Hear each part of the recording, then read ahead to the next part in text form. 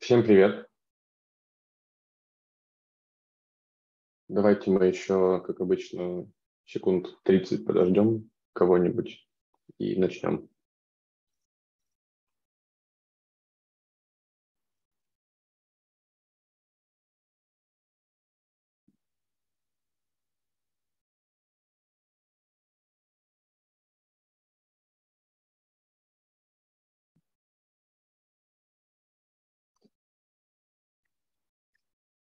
Можете пока рассказать, как у вас дела, как вам лекции, как вам домашки, как вам чего?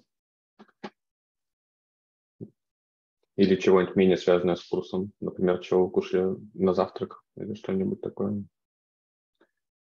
Или все еще спят. Я поела на завтрак пиццу, я счастлива. Я могу вот это рассказать. Круто. Еще кто-нибудь может рассказать? Ладно.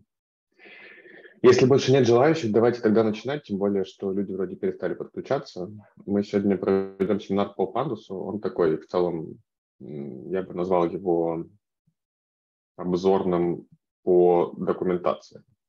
То есть э, у нас будет скорее небольшая демонстрация того, как пользоваться очередной библиотекой, которая понадобится нам на пути имплементации различных моделей в машинном обучении. Давайте для начала как бы обсудим контекст, да, в котором мы вообще будем сегодня разговаривать. Для того, чтобы мы могли с вами чего-то моделировать, нам нужно с вами сперва собрать какие-то данные да, и понять, что у нас является x, что у нас является y, типа что мы используем для построения предсказания, что будет нашим предсказанием. И данные, которые мы можем собрать, они могут быть э, не очень чистыми. И, скорее всего, они такими и являются в реальной жизни. Они могут содержать какие-то пропуски, они могут содержать какие-то некорректные значения, они могут содержать какие-то выбросы. Э, и, в принципе, хочется, наверное, вот после того, как вам данные принесли и сказали, вот реши, пожалуйста, мне вот такую задачу, хочется как-то понять, с чем, собственно, мы работаем, посмотреть на это глазами, повизуализировать, не знаю, построить какие-нибудь графики на основе данных, ну или хотя бы, э, если мы не говорим именно про визуализацию, даже вот именно в контексте графиков, да, хочется хотя бы просто глазами посмотреть на те таблички с числами, которые нам принесли, или не обязательно с числами, э, со строками, с чем-нибудь еще. Вот Pandas — это средство, которое поможет нам в питоне все это сделать.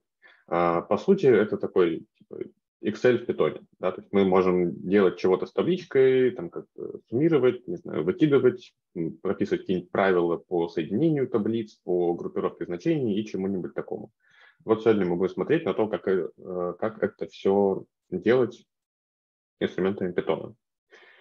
Pandas можно установить так же, как э, NumPy и все прочее, что у нас есть в курсе, да, через pip. То есть, э, если ну, я уже все это говорил, как пользоваться типом, но, в общем, а, если вы хотите его поставить себе, то можно это сделать вот так, если вы работаете в коллабе или еще в каком-нибудь облачном сервисе, в котором можно исполнять в ноутбуке, то там эта команда у вас сработает и все поставится. Но там панда, скорее всего, уже и так есть, поэтому у вас все будет работать из коробки.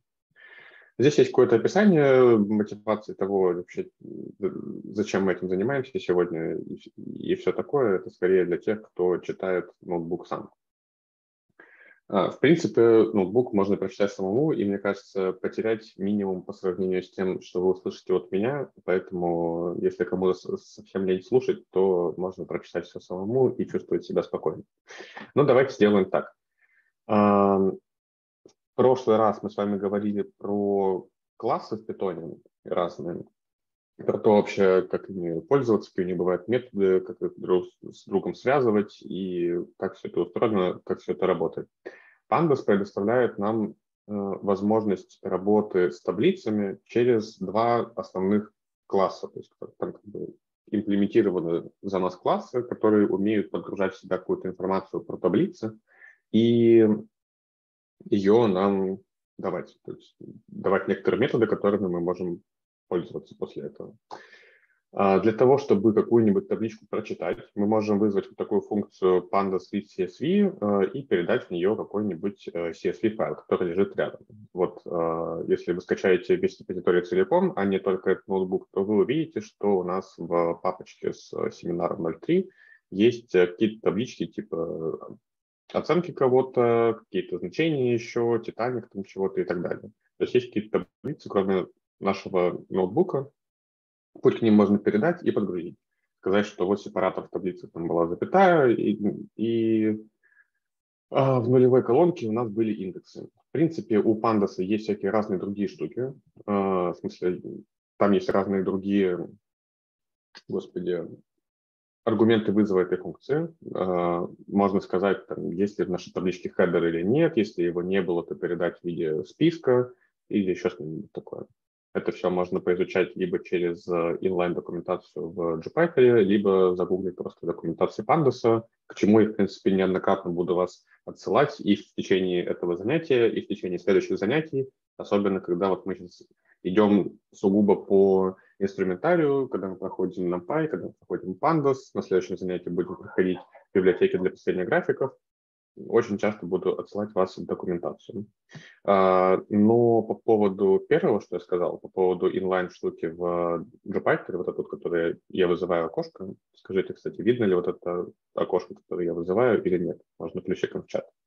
А то мне кажется, что может быть не видно в теории. Супер. А, для того, чтобы его вызвать, можно внутри любой функции нажать Shift-Tab, и у вас появится типа, декларация этой функции и то, какие там есть аргументы по умолчанию, и ниже под ней появится ее doc-string, то есть какое-то вот документационное описание того, что эта функция делает, как ее использовать. Это верно не только для Pandas, это верно для всего, вообще, что мы будем использовать в этом курсе и не только в этом курсе. Пользуйтесь этим на здоровье, это очень полезная штука обычно. Я всегда говорю, что это самое полезное, чему я учу на курсе, это вызывать эту документацию внутри ячейки. Ну так, а, что мы сделали? Мы загрузили табличку с оценками какими-то в переменную df. Теперь с этой переменной df мы можем как-то работать и вызвать в нее какие-то методы. Вот давайте посмотрим на эти методы, которые нам предлагает Pandas. Мы посмотрим, конечно же, не на все, мы посмотрим на часть каких-то самых характерных. Остальные – документация. А, так, Смотрим, если мы хотим вывести э, верхние какие-то строчки у таблицы, которые мы, загрузили, то можно вызвать метод head. Он вызовет по умолчанию 5 верхних строк, в него можно передать что-нибудь другое, типа там head 20, и он вывод, э, выведет вам больше верхних строк, чем по умолчанию. Что мы видим? Мы видим, что у нас есть какие-то анонимизированные данные. Э, в каждой строчке есть какой-то хэш, какое-то непонятное число буквенное значение, и есть какие-то оценки в каждой строке по, видимо, восьми дисциплинам. Это, я полагаю, анонимизированные данные студентов, которые получали какие-то оценки по какому-то курсу, или, возможно, в каком квантиле они находились по распределению оценок в этом курсе. Чего такое хэш? А, наверное, ну давайте так. Напишите плюс в чат, те, кто не знает, что такое хэш вообще в самом общем смысле. Потому что это слово встречается в разных контекстах.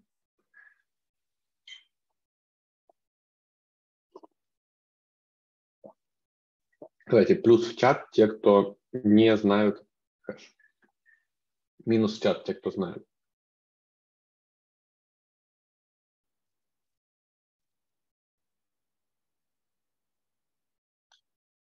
Так, один человек написал, что не знает. Остальные знают или не знают. Плюс-минус. Ага. Давайте еще больше-больше. Минус чат, если знаете, что такое хэш. Плюс чат, если не знаете.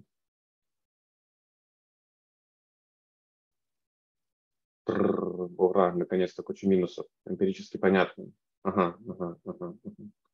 Ладно, короче говоря, хэш — это некоторая функция, которая умеет отображать произвольное значение в пространстве чисел. Например, может взять какую-нибудь строку, посчитать э, ее длину, и это будет вполне себе какой-то хэш. То есть, типа, мы взяли значение, мы получили какое-то число. Вот. Придумали какое-то отображение. Обычно хэш – это что-то необратимое, то есть это чего-то более сложное обычно, там вовлекаются деления по модулю, и число конечное обычно не десятичное, а шестнадцатиличное, как мы видим это здесь. А, и обычно по значению хэша нельзя понять за какую-то адекватную вычислительную сложность исходное значение, по которому он был получен. Но в прямую сторону обычно проходить легко. Это много где используется в программировании, мы сейчас не будем сильно подробно об этом говорить, но смысл такой, что мы вот по какому-то объекту можем посчитать какое-то число, и оно будет однозначное. То есть однозначное в смысле, что мы одним единственным образом можем получить один единственный ответ и никакой не другой. То есть это не случайное какое-то число в некотором смысле для каждого объекта, да, это фиксированное число для каждого чего-нибудь. Вот здесь у нас для каждого студента есть какое-то фиксированное э, численное значение в 16-личной системе. Так, ну давайте дальше идти по пандасу и не так сильно останавливаться на других тонкостях программирования. Если хотим вывести хвост нашей таблички, то можно вывести df-tail, вот выведем последние элементы. Обратите внимание, у нас не очень много данных в принципе, да, у нас э, всего лишь 37-38 строчек в таблице. Если мы хотим посмотреть какие-нибудь отдельные элементы, просто посэмплить что-нибудь, то можно вот, э, вызвать для нашей таблички функцию sample или можно э, передать ей какое количество, какую долю элементов из нашей таблицы мы хотим засэмплить. В данном случае здесь 30%. Вот у нас как бы посэмплится какое-то количество данных без повторений. Такие вот методы могут быть полезны, если вы хотите просто посмотреть на какие-то случайные данные в вашей таблице. Например, вы там первый раз ее загрузили, и в ней там куча строк на самом деле, куча столбиков. Вы хотите посмотреть вообще, какого рода значения бывает в каждом столбике, в каждой строке.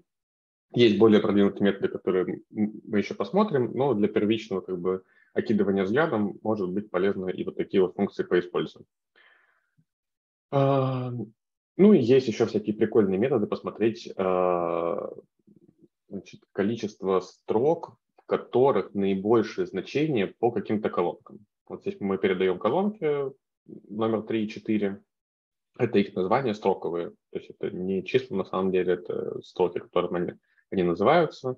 А, они могли исходно в табличке быть записаны как какие-то понятные а, строковые значения для каждой колонки, типа как у вас в табличке с оценками будет написано самостоятельные, домашки, что-нибудь. Вот они могли под, подгрузиться в виде таких имен, но у нас табличка анонимизированная, поэтому там были исходные числа, но они числа в виде питоновских строк.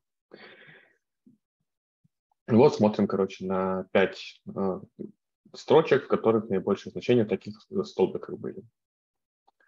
Дальше, что еще у нас есть? Можно посмотреть количество уникальных значений в каждом столбике. Вот это супер полезная штука обычно. А, вы чаще всего для того, чтобы как-то данные предобработать, скорее всего, хотите понять, какого рода вообще данные могут быть в каждом столбике.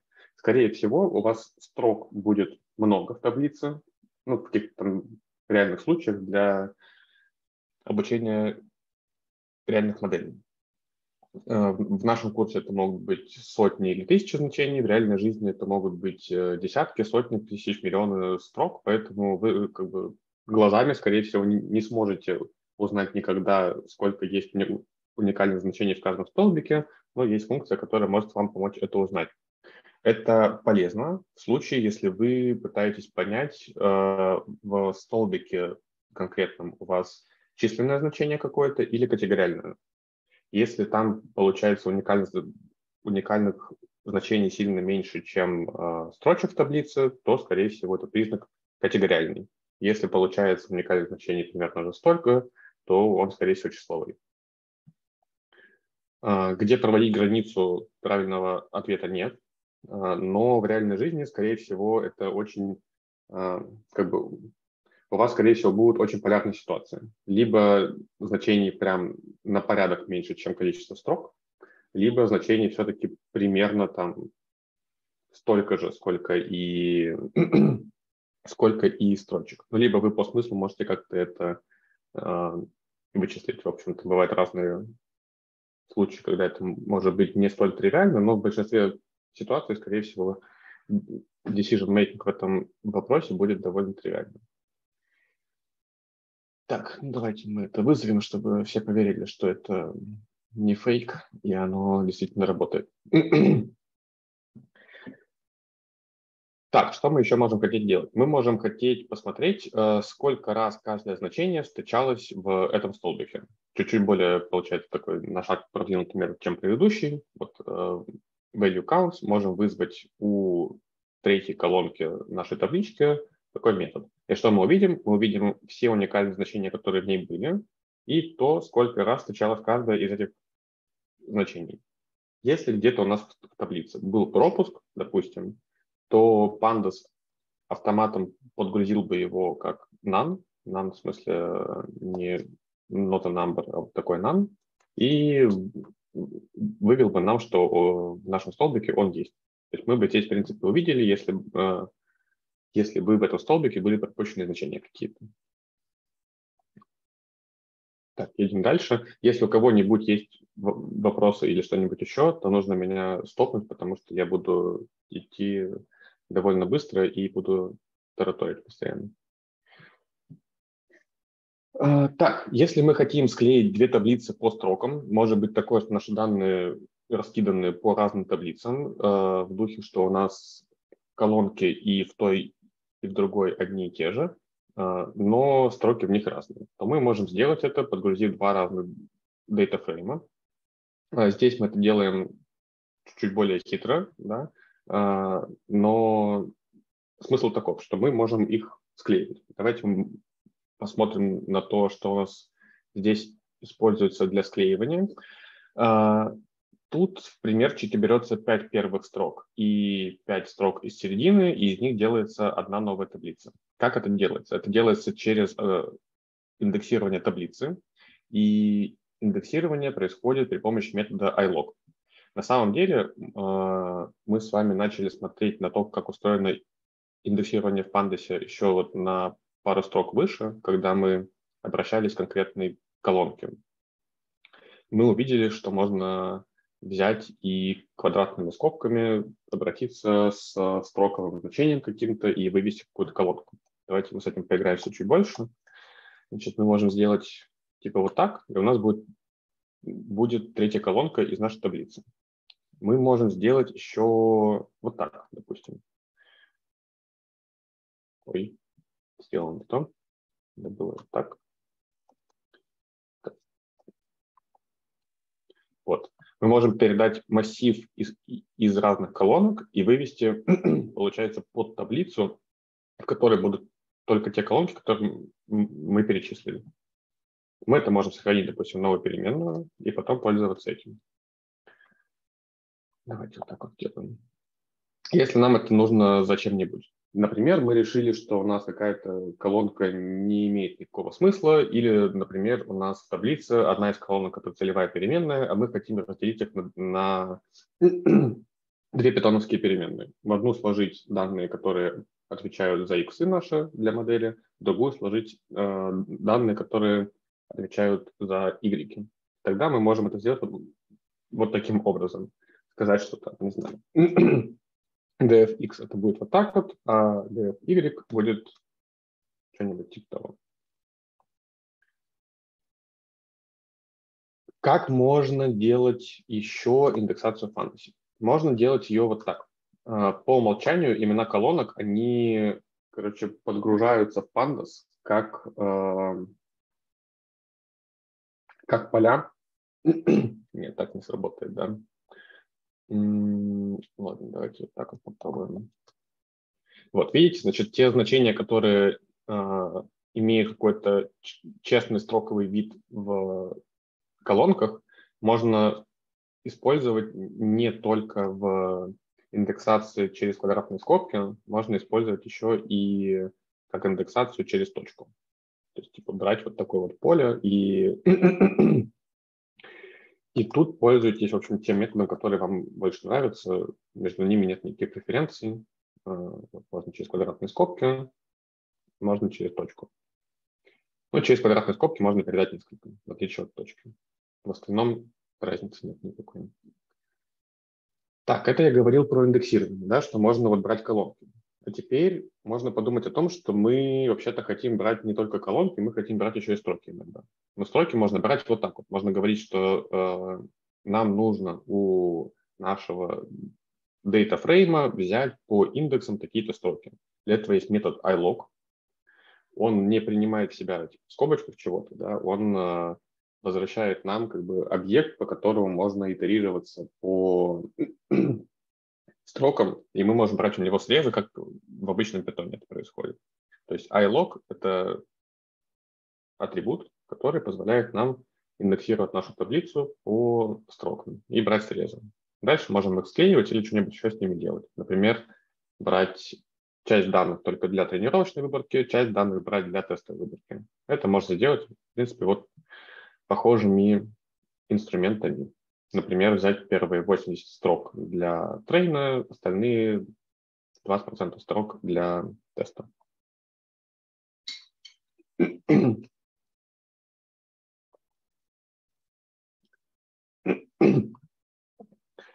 Так, э, если говорить еще про склеивание таблиц, то их можно склеивать не только по строкам, в смысле не только как бы сверху вниз налепляя друг на друга, но и по столбикам.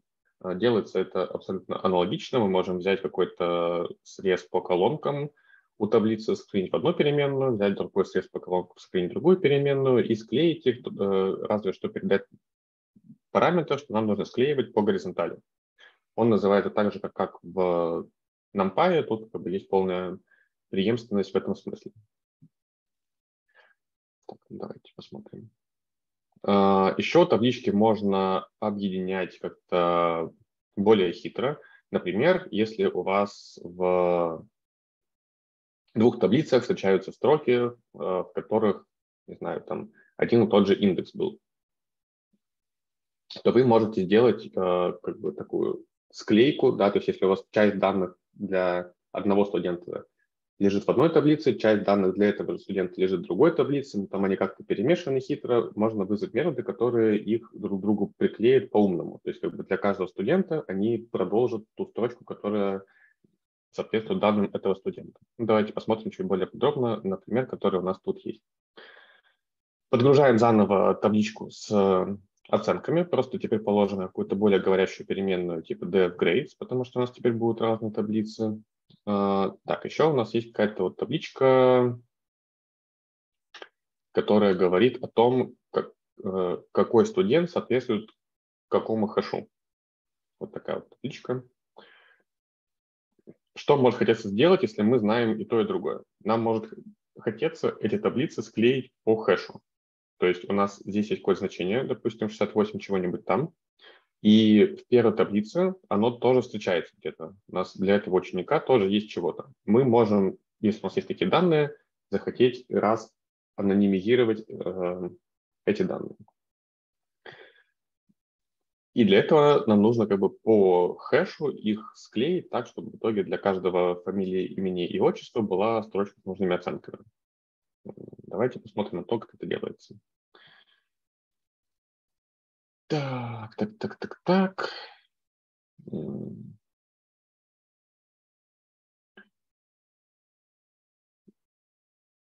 Давайте вот на вот эту строку обратим внимание. Что здесь происходит? Можно вызвать у Pandas метод merge. То есть есть некоторые методы, которые применяются не к самим датафреймам, есть некоторые методы, которые применяются в... Э, есть просто функции в Pandas, которые принимают в себя э, один, два или больше каких-то пандасовских, господи, слово вылетело из головы, пандасовских элементов и чего-нибудь с ними делают. Вот здесь, например, мы, можем сказать, что смерджи, пожалуйста, на две таблицы, которые мы подгрузили по столбику хэш, э, и ну вот, э, левую таблицу оставив слева. И потом выведи нам, пожалуйста, чего там, shape нашей таблички и верхние 10 значений. Смотрим, что получается. Мы видим, что у нас есть э, фамилии, имена и отчества наших студентов. Они вот прямо из, из этой таблички взяты. И для них подгружены их же оценки из другой таблицы уже получается. Только теперь все, все собрано в одну большую таблицу. А, что мы еще видим? Мы видим, что для некоторых студентов у нас есть какие-то целые строки с пропусками. То есть не для всех у нас было соответствие а, хэша и студента. Это можно увидеть из вот этих вот двух ячеек, которые были сверху. А, значит, если мы посмотрим на таблицу с оценками, это верхняя, с которой мы работали, то у нас тут 38 уникальных хэшей. Если мы посмотрим на табличку с всеми студентами, то у нас в ней 95 уникальных хэшей. То есть э, таблица с перечнем студентов, она гораздо больше, чем таблица с э, оценками этих студентов. То есть оценки известны только для части. Поэтому вот, не для всех у нас появились оценки.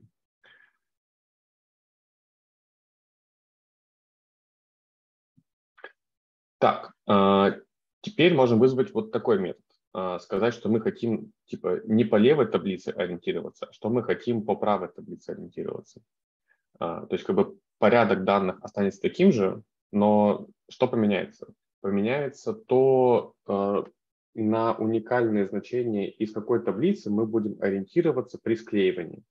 То есть если мы здесь указывали, что мы ориентируемся на левую, и левая была df hashes, и в df hashes у нас 95 уникальных значений было. Сейчас мы будем ориентироваться на правую, вот здесь. Правая – это df grades, в ней было меньше уникальных значений, и мы оставим только те строки, в которых вот были взяты уникальные значения из правой таблицы. Я надеюсь, что это понятно. Если непонятно, спросите, остановите или еще что-нибудь. То есть теперь у нас в таблице будет сильно меньше строк, в принципе, и у нас не будет таких вот пропусков, как были раньше. Вот такая вот история. Обратите внимание, что мы параллельно, пока вот все эти склеивания делали, мы тут э, печатали еще размеры таблиц, и мы печатали их через df.shape. Это, в общем, снова аналогично тому, что происходит в NumPy, там тоже есть шейпы у массивов, да, и вот у нас в Pandas они вызываются точно так же.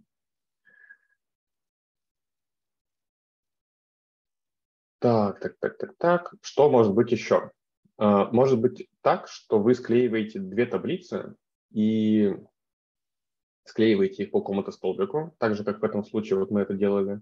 Но у вас в столбике каждой из этих таблиц могут быть какие-то множество значений, которые пересекаются, но не вложены друг в друга. То есть в этом случае у нас в правой таблице было строго меньше значений, чем в левой, по хэшам. При этом все значения из правой таблицы были в левой. Такого может не быть в теории. Может быть так, что у вас справа есть какие-то значения, которых нет слева, и наоборот. Тогда можно вызвать метод склейки inner, который сделает вам э, новую таблицу склеенную, но только по тем значениям, которые есть и справа, и слева. То же самое можно сделать по аутору, в принципе. А, это те значения, которые типа, находятся в симметрической разности этих множеств. Так, а, давайте посмотрим на последнюю штучку здесь. Я забыл, что мы хотели рассказать в этой ячейке. Секундочку.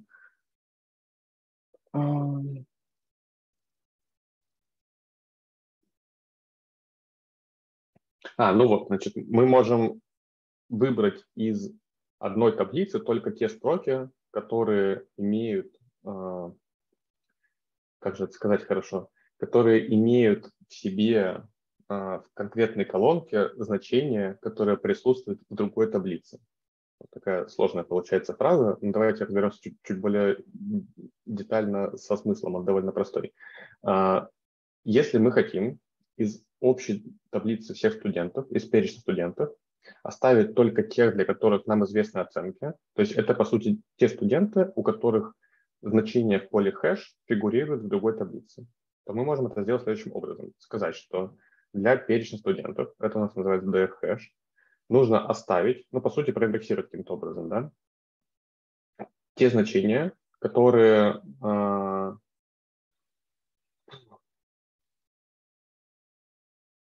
те строки, в которых значение хэша находится внутри столбика хэш другой таблицы. То есть оно из in столбик хэш другой таблицы. Нужно, возможно, посмотреть на эту фразу некоторое время, чтобы ее немножко осознать и уложить у себя в голове. Могу еще рассказать как бы из, изнутри наружу, только, а не снаружи внутрь. Говорят, да, вроде все понятно. Ну ладно, на самом деле все, все понятно, и я слишком подробно объясняю, может тоже больше этого сказать. Если кто-то не согласен с мнением в чате, что все понятно, то выразите это мнение.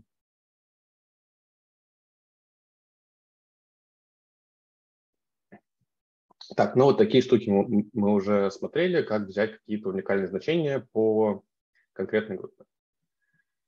А, так, самый продвинутый метод пандаса, который есть и который вам, скорее всего, пригодится э, в домашке или где-нибудь еще, в принципе, если вы будете работать с пандасом, это метод group by. Метод позволяет делать следующее. Представьте, что у вас есть какой-нибудь столбик в таблице, который принимает категориальное значение.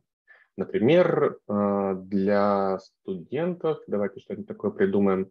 Например, у вас есть таблица, в которой написан студент, написан курс, на который он ходил, и написана оценка. И вот таких вот вхождений много. То есть, допустим, может быть много строк, которые для одного и того же студента, но в них разные курсы.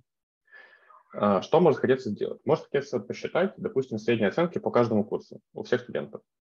Тогда мы как бы что хотим сделать на самом деле? Мы хотим сгруппировать наши данные по значению в колонке курс и усреднить. Такие штуки можно делать пандасом, можно делать их довольно удобно а, при помощи метода group by. Он возвращает не очень понятную штуку сам по себе, то есть он не возвращает какой-то объект, а, на который можно посмотреть, в отличие от всего предыдущего. Давайте, кстати, мы чуть-чуть на этом остановимся как раз в этом месте и посмотрим вот на что. У нас есть data фреймы в Pandas, они обладают э, типом вот таким.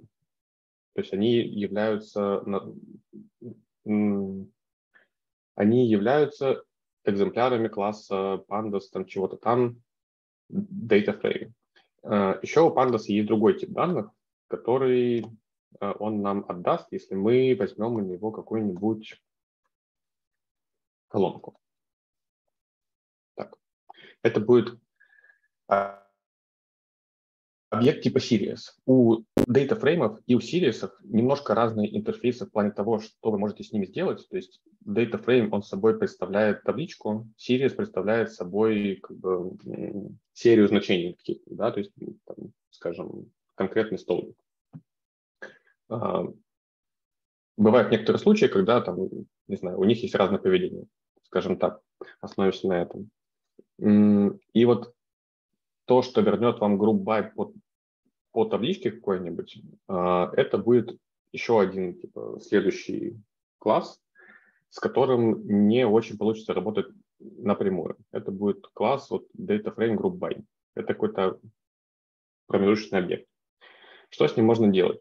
С ним можно э, считать всякие прикольные штуки, типа тех, что я сказал про курсы. То есть мы можем хотеть по какому-нибудь столбику сгруппировать наши данные и посчитать для них средние по усредненному такому столбику.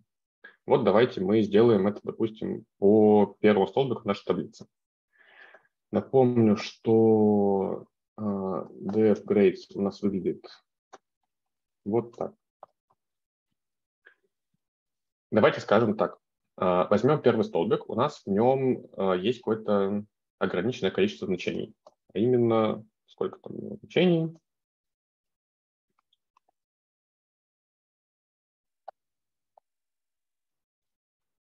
Восемь значений есть. При том, что количество вхождений там типа 30 лишним.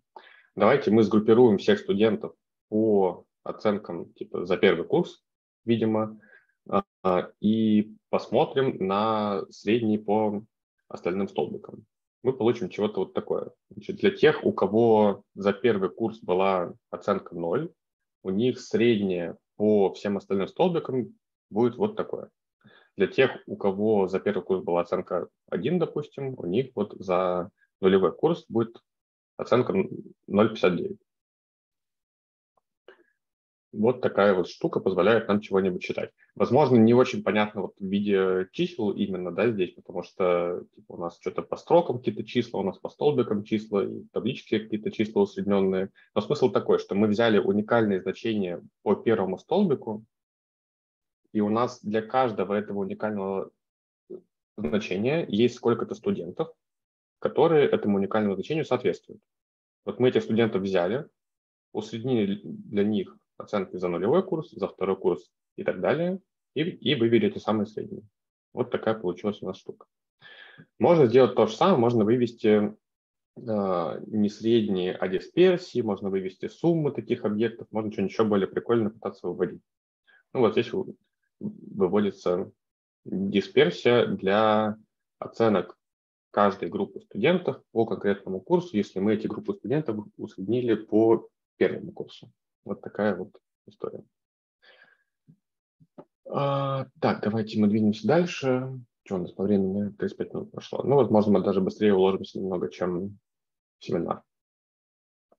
Так, мы с вами давайте посмотрим на чего-нибудь э, более популярное, а именно посмотрим с вами на данные по Титанику. Э, это такой довольно хрестоматийный датасет, в котором есть следующая информация. Есть список пассажиров Титаника.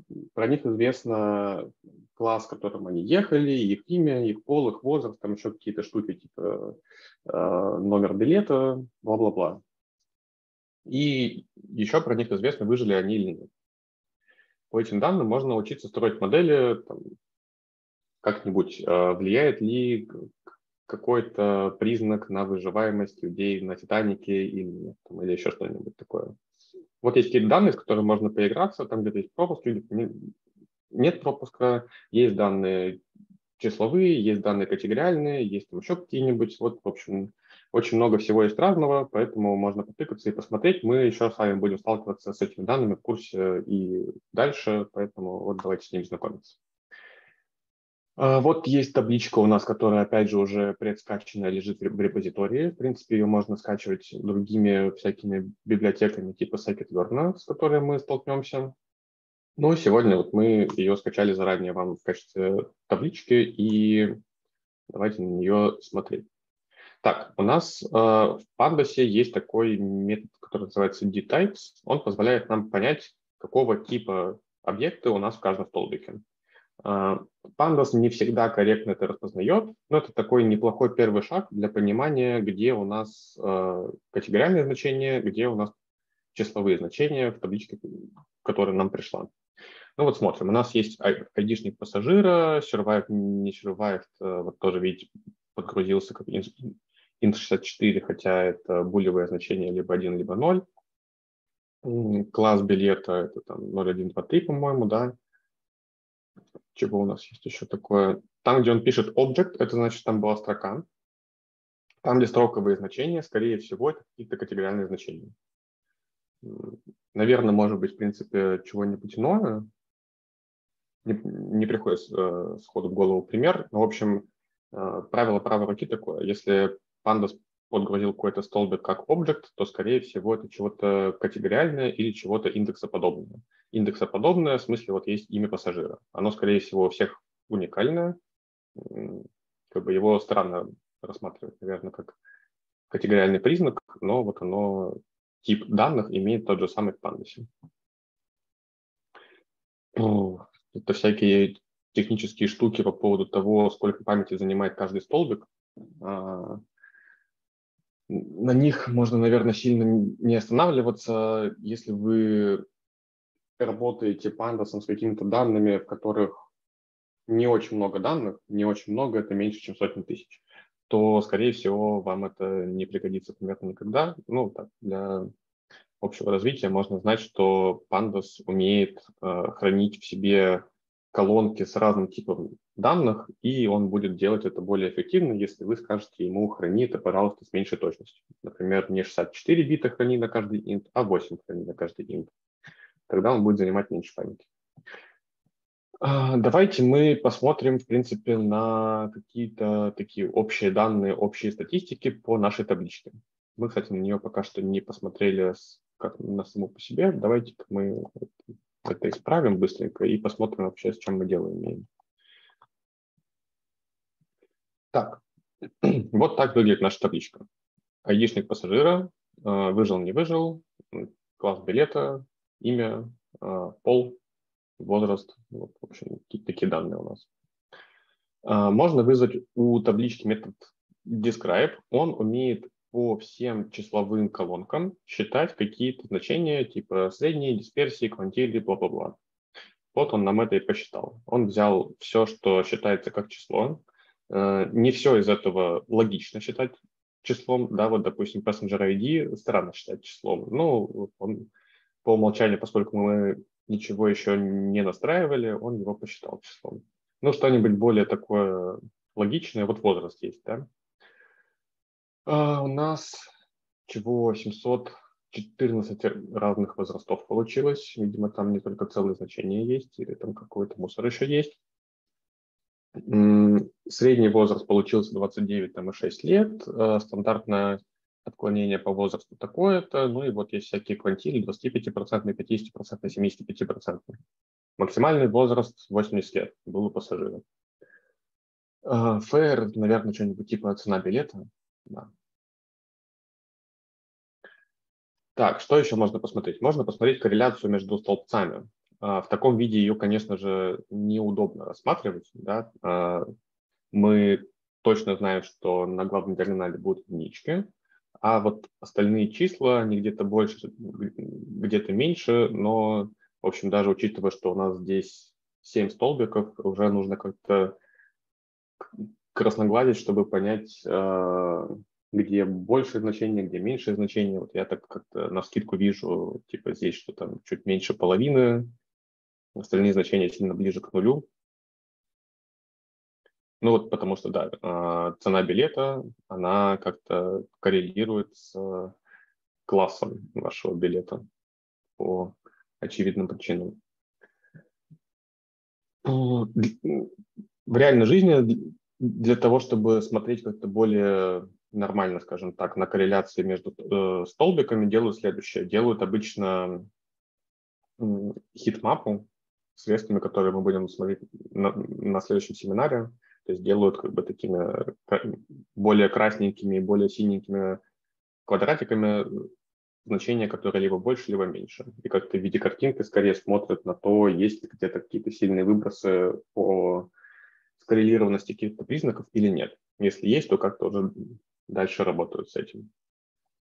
Так, снова смотрим на табличку, смотрим на колонки, смотрим на а, столбик, который индексирует нашу табличку, он говорит нам, сколько у нас, в принципе, значений различных есть, а, сколько строк у нас есть различных. И вот давайте мы, наконец, а, будем приближаться как-то к сеттингу того, что мы не просто смотрим на данные, а что у нас вообще-то машинное обучение. В машинном обучении мы учимся чего-то предсказывать обычно. Вот здесь мы будем учиться предсказывать, выживет пассажир или не выживет. Мы не будем строить модели, мы, мы, мы пока просто разделим данные на, на две кучки. Вот одна кучка это будут y, целевые переменные, берем срез у таблицы. А, так, так, так, так. Ну все, пока только y выделили. А, допустим, допустим, допустим.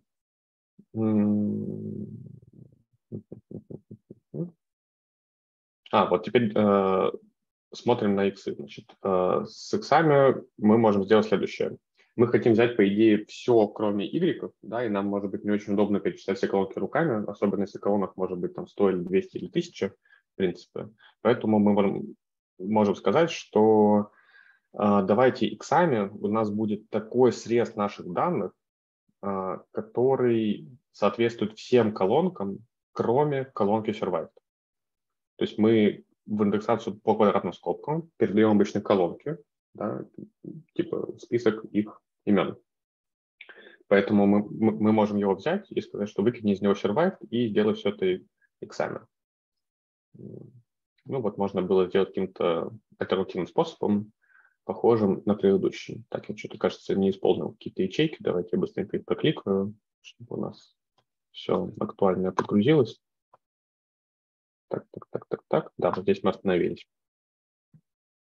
Ну, давайте посмотрим теперь, что действительно в иксах у нас осталось столько же строк, а колонок стало на, на один меньше. Ну, можем, не знаю, для разнообразия еще Y-shape посмотреть, что у него тоже столько же строчек, а колонка одна, потому что целевая переменная, она у нас пока что бывает только одна.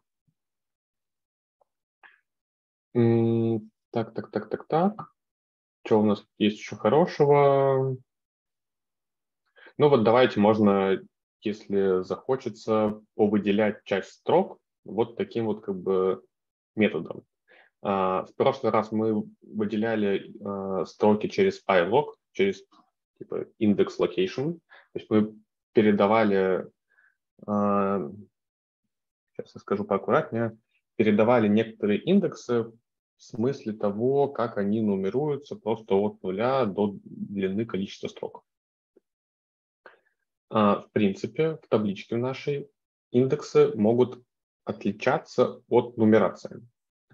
А, каждый раз, когда мы до этого подгружали часть таблицы, у нас а, в левом столбике неявно всегда фигурировали какие-то числа, которые являли собой индексацию таблицы. Они проставлялись автоматически, потому что мы ничего специального не указывали в аргументах функции подгрузки таблички из файлика в Python. Но, в принципе, в исходных данных эти индексы уже могли быть. Например, вот у нас есть какой-то passenger ID в данных. Это, в принципе, уже какой-то индекс, мы могли использовать его, а не автоматическую нумерацию, которую нам предлагает Pandas. А, ну и, в принципе, что угодно, что имеет уникальное значение для каждой строчки, например, в данном случае имя каждого человека, мы тоже можем использовать как индекс. И вот здесь проявляется разница между локом и iLog. iLog, он позволяет нам селектить строчки из таблицы просто по сквозной нумерации. То есть не обращая внимания на то, что прописано в индексирующем столбике. Просто, там, не знаю, если нам нужно взять строки от нулевой до пятой, то мы можем использовать iLog. Если мы хотим взять строки с какими-то индексами, то есть какими-то более осмысленными значениями потенциально, то мы можем это сделать через лог. Вот такая вот между ними разница. Ну и здесь мы э, будем смотреть на какие-то примерчики того, как это происходит.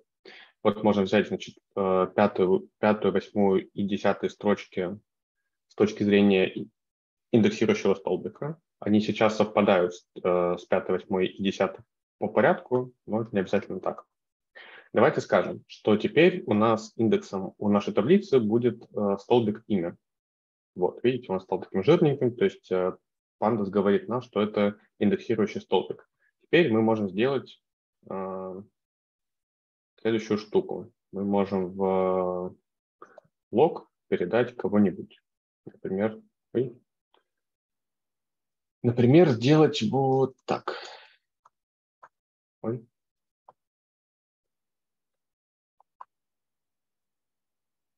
Так, что я вас обманул, что ли? Что-то у меня не сработало. Ладно, давайте мы так сделаем. С Passenger ID плохо получится, наверное. Ладно, давайте посмотрим.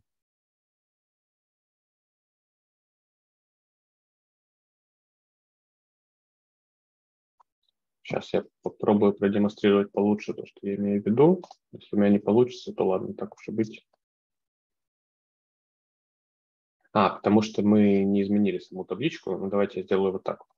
Я скажу def равно чему равно? Равно вот такой штуке. Set index name, да. И посмотрим, что у нас def new теперь изменилось. Ой.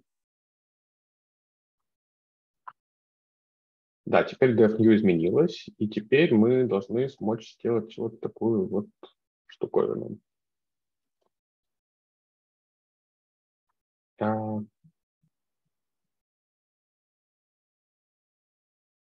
ладно, если так. Нет, все равно не получилось. Ладно, ладно, ладно, ладно.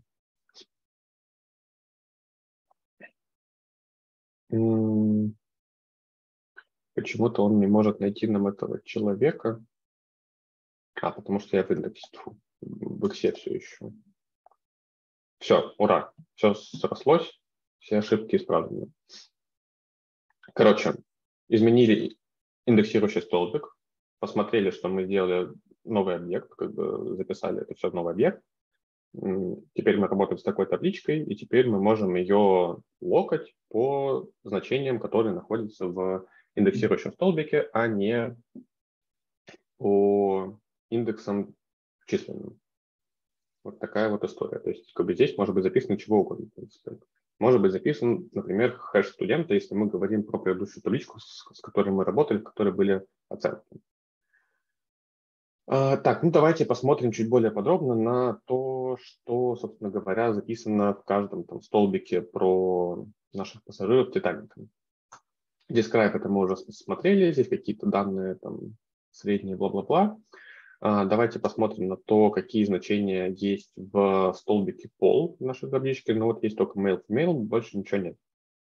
А, посмотрим на длину столбика с именами. Он 891, что в принципе логично. Мы уже смотрели до этого, что у нас 891 строчка в наших данных. И если бы имен было меньше, чем 891, меньше уникальных имен в смысле, то тогда нам не позволил бы Panda сделать это индексирующим столбиком. То есть тот факт, что это может быть им, равносильно тому, что уникальных значений столько же, сколько и строк. Так, давайте теперь посмотрим, сколько у нас было пассажиров мужчин и женщин. Пассажиров мужчин было почти 600, женщин было 300. А, можно при помощи... Так, так, так. Ладно, здесь немножко хитрая штука. Мы тут уже немножко переходим к matplotlib, который будет гораздо больше на следующем занятии, чем на сегодняшнем занятии. Но, тем не менее, давайте скажу пока что вот на таком уровне. В самом начале мы импортнули штучку. Сейчас быстренько промотаю. Раз, два, три. Промотал. В самом начале мы импортнули, кроме NumPy и Pandas еще вот такую штуку matplotlib.pyplot splt. А, мы его напрямую здесь, по-моему, даже не дергаем, но тем не менее, это библиотека, которая позволяет рисовать разные графики. Она позволяет рисовать как и обычные графики по точкам, так и гистограммы, так и что-нибудь еще. Вот э, они подружены, скажем так, с пандасом, и можно напрямую через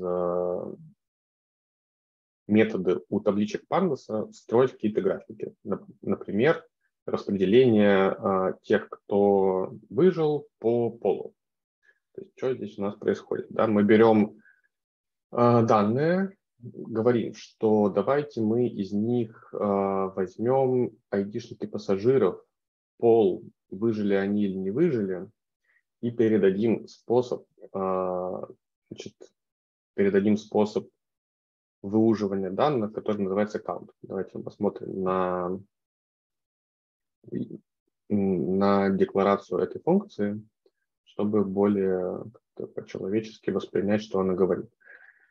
Так, э, декларация функции следующая. Нам нужно сначала передать какие-то значения, потом сказать, э, типа, чем их э, проиндексировать и какие колонки взять из таблички. И последним аргументом, здесь вот четвертым, мы передаем э, функцию агрегации, то есть что нам именно нужно посчитать под тем значением, которые мы только что вытащили из таблички. И вот если мы вот таким образом все это сделаем, то мы получим следующую штуку. Мы э, можем посмотреть на графике, сколько выжило женщин и сколько выжило мужчин. Вот такая вот тема. А, так, ну и здесь мы говорим, что нам нужно построить э, бар-плот, гистограмма по-русски, да, стек равно true, то есть у нас как бы в каждом столбике будут и выжившие, и нет выжившие. Вот мы в итоге получаем такой артефакт э, информации из наших данных.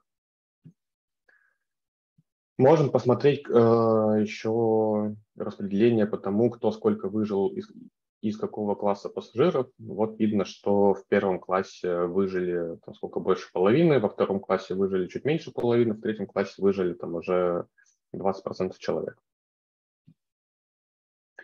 Так, здесь еще всякие разные графички, уже даже не бар-плоты, уже просто плоты.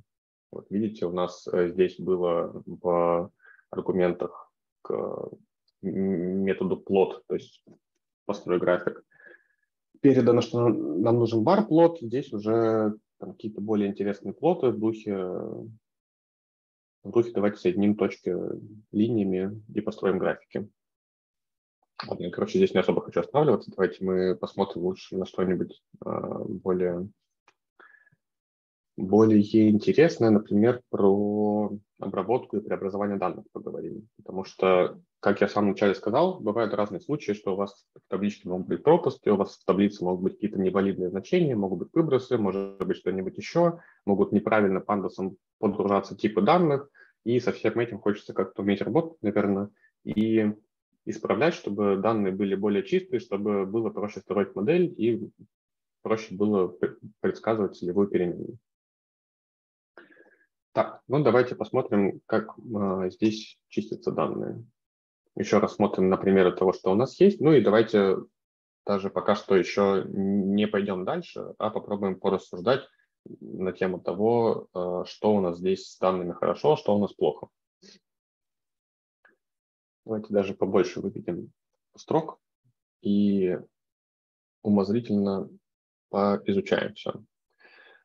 Passenger ID – это ладно, это мы, скорее всего, хотим эти индексы вообще, в принципе, запихнуть в индексирующую колонку и не использовать их для предсказания, да, потому что это будет странно. Если мы будем айдишники использовать для предсказания, они вряд ли связаны как-то с целевой переменной. У нас люди просто пронумерованы. Хотя э, часто бывает такое, что в данных бывают лики. Лики, то есть у нас как бы в иксы просачиваются какие-то данные из целевой переменной, которые авторы на самом деле не хотели, чтобы они просачивались. Поэтому э, когда мы будем говорить уже про построение моделей, всегда разумно первым делом посмотреть на корреляцию каждого столбика с целевой переменной. Мы ожидаем, скорее всего, что если данные готовили хорошо, в смысле, допустим, если мы говорим про какое-нибудь соревнование по анализу данных, то в айдишнике не должна утекать информация про целевые переменные. Но бывают и исключения. Бывает так, что люди, которые готовят данные, они, не знаю, сортируют их сначала у себя по целевой переменной, что сначала идут там в случае Титаника все выжившие, а потом идут все не выжившие. И тогда понятно, что айдишник будет хорошим признаком для прогноза целевой переменной, потому что те, у кого айдишник меньше, там, выживут более или менее вероятно, чем те, которые имеют больший айдишник. Так, это я о чем говорил? Это я куда-то в сторону ушел. Да, это я ушел э, к тому, что айдишник нашей задачи, скорее всего, не играет роли, если данные готовили хорошо, но помните о том, что бывает исключения. Дальше. Э, survived. Тут, в принципе, у нас все окей. Э, какие-то числа, нолики, единички, класс билета, опять же, все окей, числа, тройки и так далее имена. Если мы захотим строить модель по этим данным, то имена мы, скорее всего, захотим выкинуть. Они все уникальные, они вряд ли как-то связаны с целевой переменной. В принципе, может быть, конечно, исключение. Может оказаться, что если мы эти имена разобьем на имена и фамилии, то, может быть, не знаю, там ехало какое-нибудь ограниченное количество семей в теории, да, и те, кто имели какую-нибудь фамилию, спасались более вероятно, чем те, которые имели другую фамилию. Но в общем случае, если это некоторые уникальные значения, скорее всего, они никак не будут связаны с целевой переменной. Колонку пола мы уже анализировали, видели, что там бывает э, мужской и женский пол. Окей, там нет пропусков, там нет э, мусора. Вот с возрастом уже получается интереснее. Возраст у нас подгрузился как э, флоуты, да, не как целые числа. В принципе, это все равно, но мы видим, что у нас бывают пропуски в возрасте. Если мы с пропусками ничего не сделаем, то модель мы строить просто так не сможем на таких данных. Почему? Потому что у нас будут какие-то объекты, для которых мы, допустим, будем строить какую-нибудь линейную модель, мы не сможем сложить возраст этого человека ни с каким коэффициентом, потому что ну, у него не указан возраст. А в таком случае нам нужно будет выбрать какую-то стратегию по заполнению пропусков в этом столбике. Давайте так. Обсуждали ли вы на лекции какие-нибудь стратегии работы с пропусками и вообще с э, разными грязными данными или нет? Давайте плюсик, если что-нибудь такое обсуждали, минусик, если нет. Тут я все говорю, говорю, ничего не спрашиваю. На всякий случай, еще раз вопрос такой. Обсуждали ли вы на лекции обработку некорректных данных в таблице или нет? Говорят, нет. Ну окей, тогда, значит, я скажу следующее, что стратегии бывают разные. Можно заполнить пропуски средними значениями. Это, в принципе, такой всегда бейзлайновый вариант. Типа, давайте скажем, что у человека был средний возраст, вряд ли мы что-то сильно испортим таким подходом. Но, э, в принципе, можно придумать чего-нибудь более интересное. Можно заполнять медианным значением, можно заполнять пропуски нулями, можно заполнять пропуски максимумами, можно заполнять чем-нибудь еще. В зависимости от смысла колонки разные подходы могут быть более осмысленными или менее осмысленными. С возрастом, наверное, средняя или медиана подойдет более-менее неплохо. То есть мы хотя бы чего-то сможем прописать этому человеку, чтобы хоть какое-то предсказание для него строить. Иначе мы ничего не сможем делать. Так, э, это, а, вот да, это, это если мы говорим про пропуски в численных переменных. У нас могут быть пропуски в категориальных признаках. И вот чего с ними делать, это уже более интересный вопрос. Но там можно сделать что-нибудь, опять же, такое простое. Можно взять самое частое значение категориального признака и заполнить им. То есть сказать, что если мы про человека ничего не знаем, ну, пускай у него будет самое частое. Опять же, хоть какой-то прогноз мы сможем тогда строить. Можно сэмплить ему какое-нибудь значение с, с вероятностями частоты встречаемости признака. Например, у нас э, был бы пропуск, э, скажем, в графе пол для кого-нибудь, и мы знаем, что у нас там мужчин было в два раза больше, чем женщин. Ну, давайте мы с вероятностью 2 трети будем тогда присваивать пол мужчина, с вероятностью 1 треть присваивать э, пол женщина. Ну и потом да, дальше можно анализировать уже, исходя из качества наших предсказаний, то, какой метод оказался наиболее полезным, а какой оказался менее полезным. Всякие такие штуки можно делать. Ну, короче говоря, это я все с вами обговаривал, что в таблице у нас есть какие-то штуки, которые мы, наверное, в ней не хотим иметь вот прям как есть. Мы можем еще заходить, кстати, всякие штуки типа пола, изменить э, с строковых значений на численные значения. Даже не можем захотеть, а мы, скорее всего, этого и хотим. Потому что в конечном счете, если мы говорим про повторение модели, мы хотим признаки как-то складывать. Типа складывать, вычитать, домножать на что-то с каким-то весом и так далее.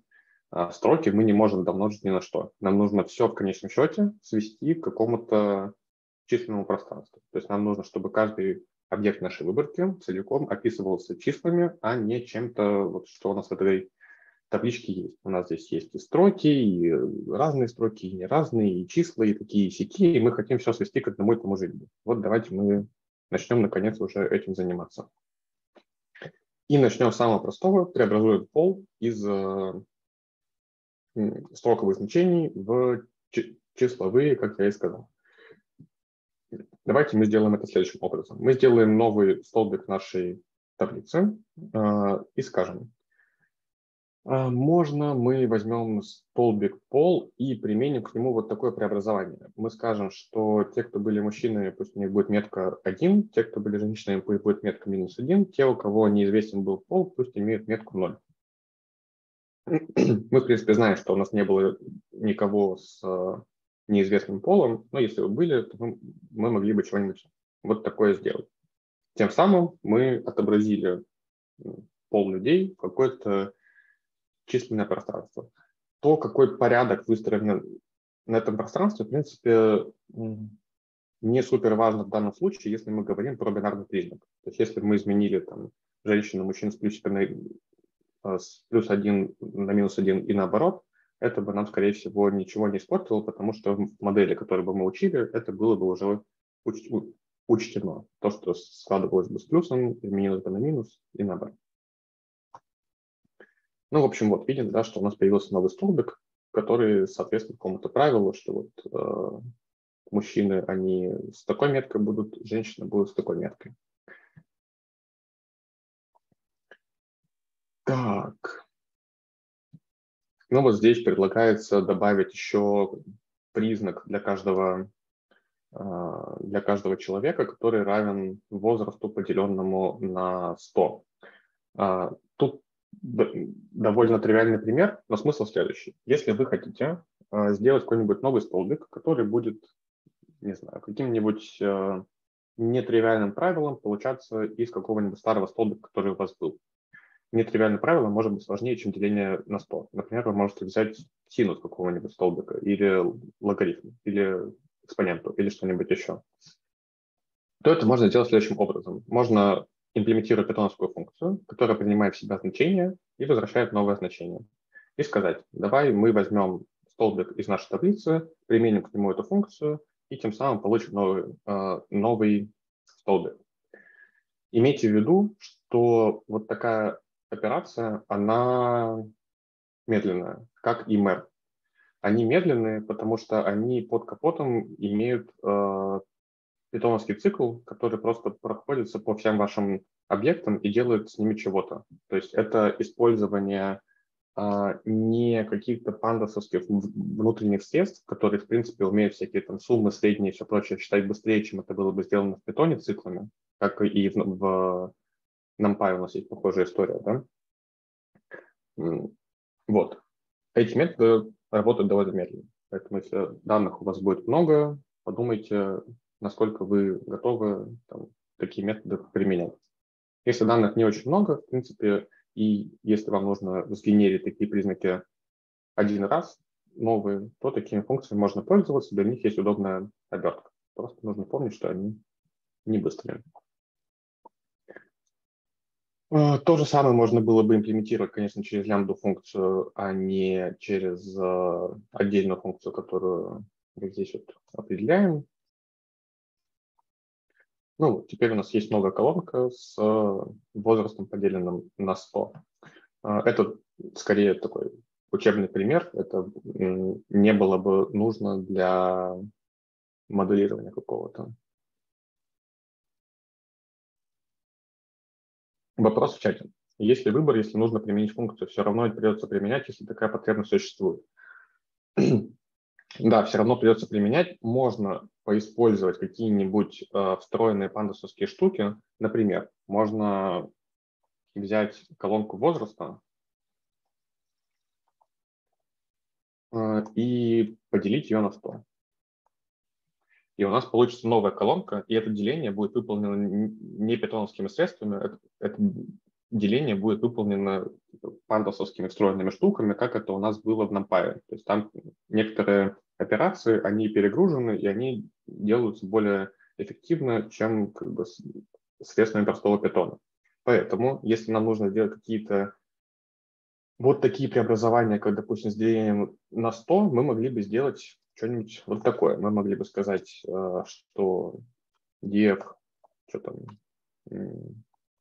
new, new age, оно равно вот такому. То есть есть способы часто сделать какую-то имплементацию более, э, более эффективной, чем вот это вот.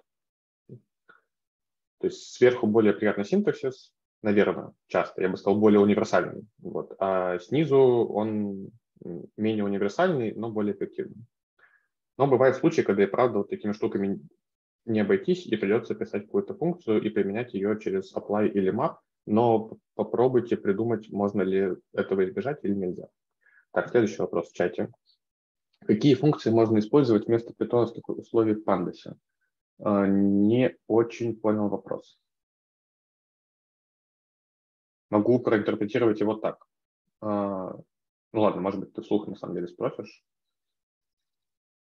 Ну вот, это, наверное, больше к домашке относится. Угу. То есть я там делала задание через if, потом я видела функции там np where, ну, через numpy, угу. а там нельзя ни то, ни другое, и я не могу понять и найти, как это можно сделать через Pandas э, только.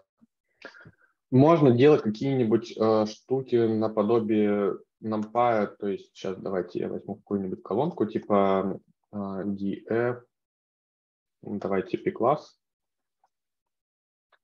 равно равно 3.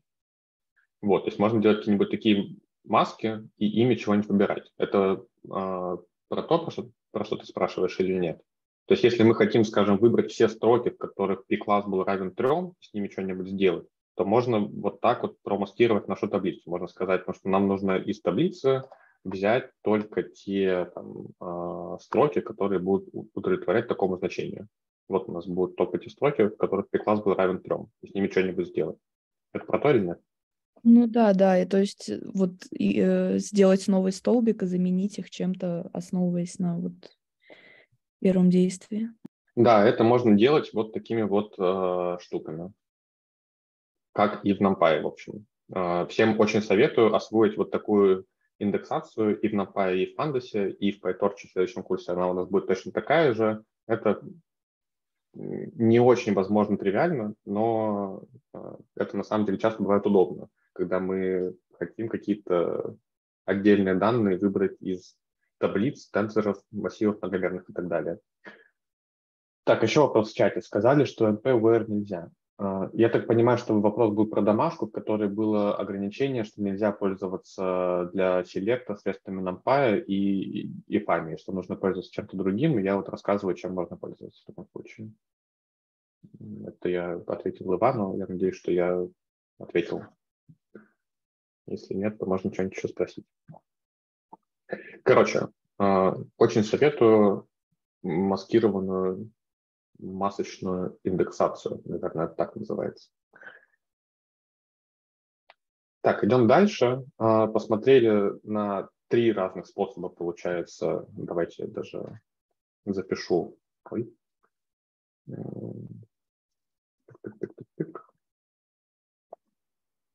А, как мне вернуть ту ячейку, в которой я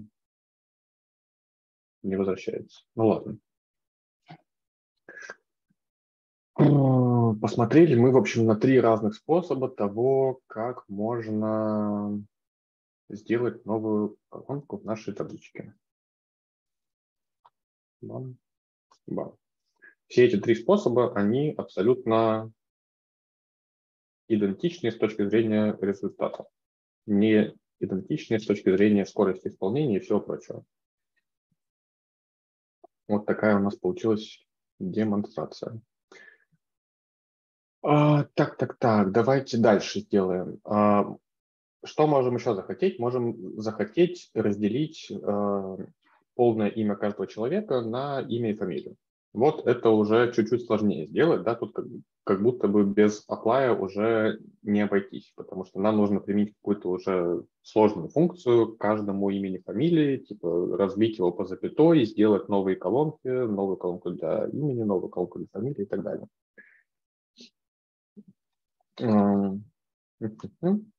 Это можно сделать как-нибудь так. А, давайте посмотрим на наши данные. И кажется, нужно было сплитить не по точке запятой, а по запятой просто. Да, кажется, нужно по запятой сплитить. Ну, давайте посмотрим, что у нас получится таким образом.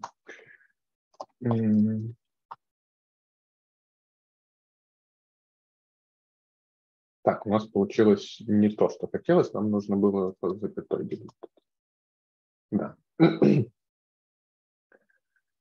Вот, мы можем взять э, столбик с э, полным именем и сказать, что давайте мы применим к нему вот такой вот разделитель и возьмем от него только то, что было до запятой. И сделаем из этого новый столбик. Это будет фамилия, каждого человека. Там уже как бы можем по фамилии посмотреть чего-нибудь более а, интересное. Например, давайте посмотрим, были ли у нас вообще люди с одинаковыми фамилиями или не было. А, для этого нам надо взять чего там, столбик с а,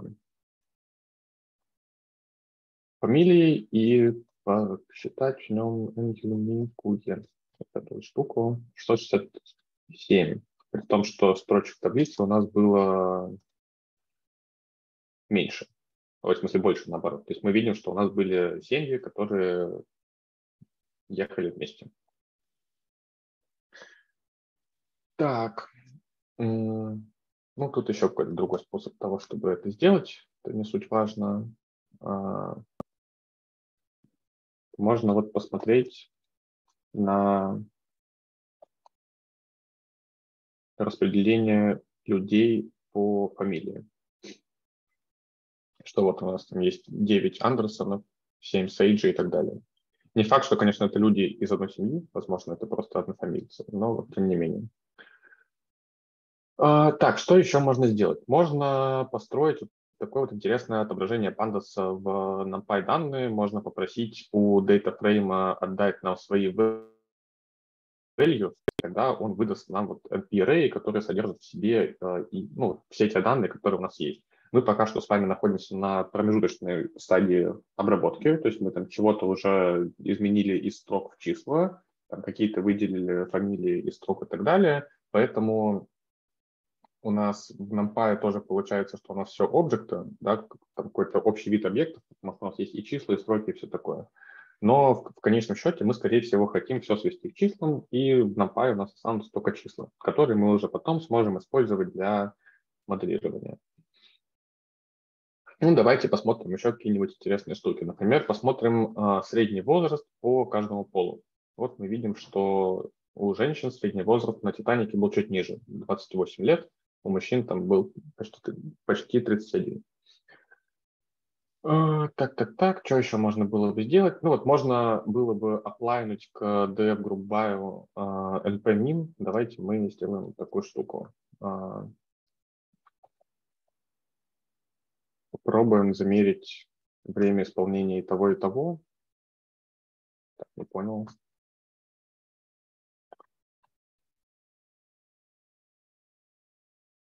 И посмотреть, что из этого более эффективное, а что менее эффективное. Возможно, я вас обманываю, и оно не будет никак отличаться.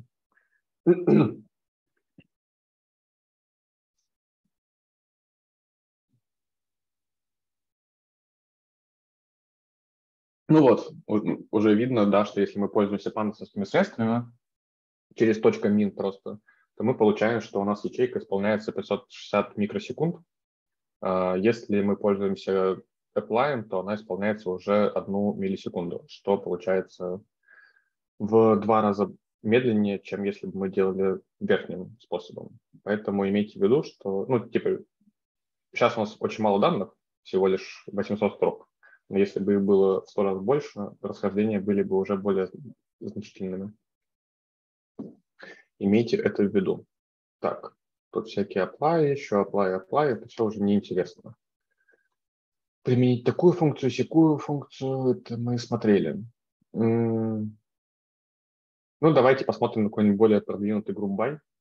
А, можно грубаить не по одному столбику, можно грубаить по нескольким столбикам. То есть, что у нас а, мы делим все объекты на такие группы, чтобы у них пара значений, вот в этом случае пол и тип билета, была одинаковый.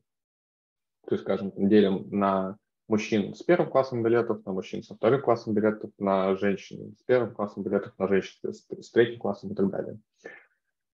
Агрегируем все это по возрасту и говорим, что мы хотим усреднить.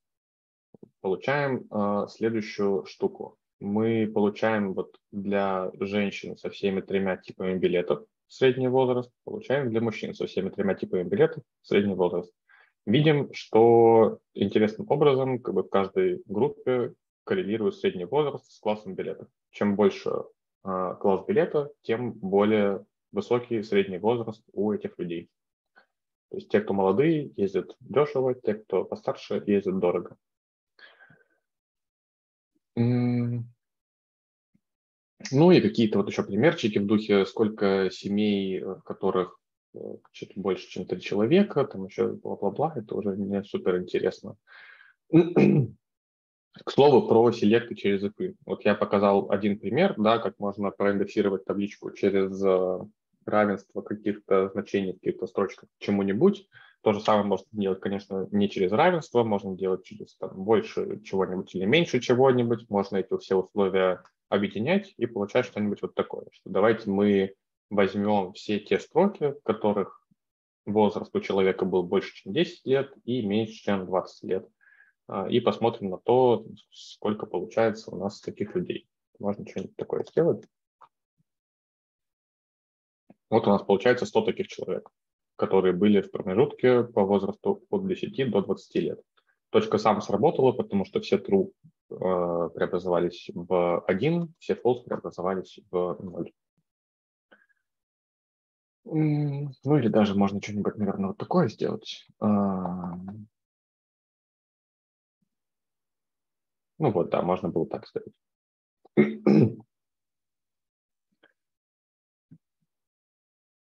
Так, так, так, так, так, так. Тут то же самое, просто индексируем табличку вот этим вот условиям, которые мы выше получили, это я уже показывал. А, ну, собственно, и все. Вот на этом наш семинар и заканчивается. А, давайте какой-нибудь резюме семинара скажу, короткое. Резюме следующее. А, Pandas – это штука, которая умеет подгружать таблички из э, файлов. Она умеет работать не только с э, CSV файлами, она умеет работать с CSV, она умеет работать с более сложными штуками типа .паркет или еще что-нибудь.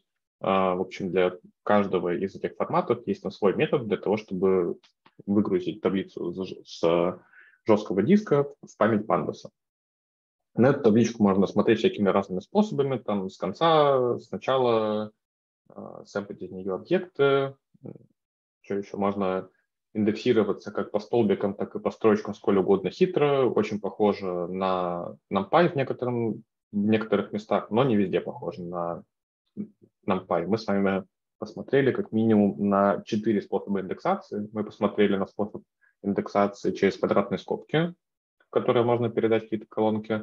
Мы посмотрели на индексацию через точки, в которые, опять же, можно передать колонки, которые имеют какие-то строковые значения. Посмотрели на индексацию через лог, посмотрели на индексацию через iLog. А, дальше таблички можно склеивать друг с другом а, там, по горизонтали, по вертикали, какими-то хитрыми склеиваниями через уникальные значения. А, и, и, и, и, и можно делать групп-баи, чтобы считать какие-нибудь интересные статистики. Ну и можно заменять значения, можно делать новые столбики при помощи каких-то правил, которые вы придумаете. А, вот как-то так. Если есть какие-нибудь вопросы, можно их задать.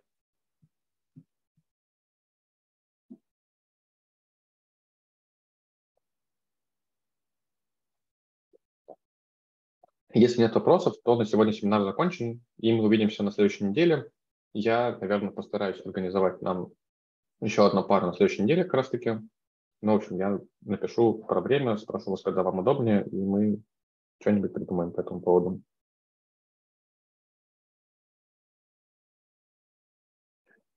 Все, всем пока, всем до встречи. А можно вопрос все-таки? Можно. Вы сказали, что домашку дедлайн перенесут, а не скажете на когда? Э, на неделю вперед, э, потому что мы задержали семинар на неделю вперед. Спасибо большое. Угу. До свидания. Спасибо. Всем, всем пока.